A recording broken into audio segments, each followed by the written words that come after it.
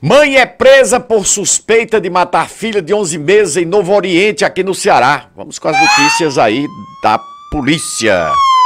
Que que é isso? Mandado de prisão preventiva foi cumprido neste sábado, dia 20, em desfavor de uma mulher de 34 anos, suspeita de envolvimento na morte da própria filha, uma bebê de 11 meses. O caso ocorreu em Novo Oriente, Novo Oriente que fica a 402 quilômetros de distância de Fortaleza.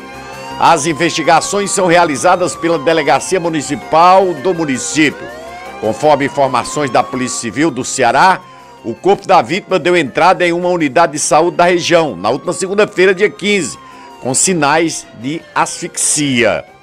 Após laudo da perícia forense do estado, eh, confirmou né, os indícios de crime a Polícia Civil representou pela prisão preventiva contra a suspeita. A mulher foi conduzida para a unidade policial, onde o mandado por homicídio foi cumprido após os procedimentos sobre o fato serem concluídos. A mulher foi colocada à disposição da justiça. Matou a criança asfixiada? Meu Deus do céu. Ela que é mãe, né? Ela mata a filha, imagina a sua filha.